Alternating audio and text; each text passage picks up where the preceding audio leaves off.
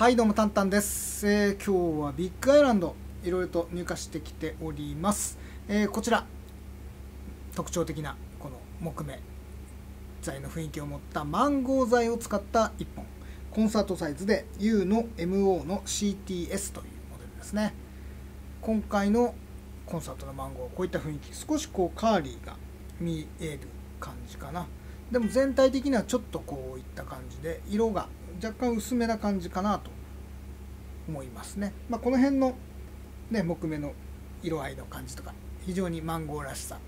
出ている。こういった木目の一本でございます。音はすごく優しくて甘い感じの音ですね。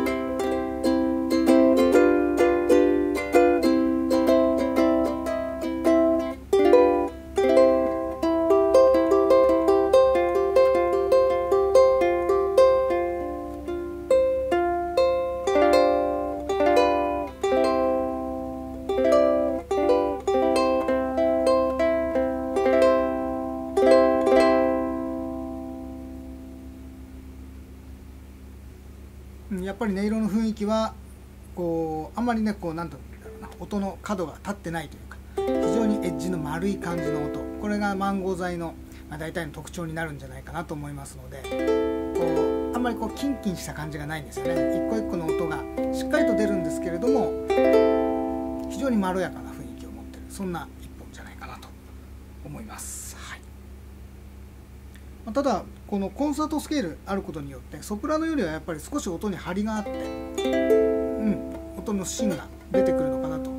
こうマンゴー柔らかさっていうのを完全に求めるんだとやっぱりソプラノの方がねよりこうテンション感も緩くて材の雰囲気も柔らかいんですけれどもコ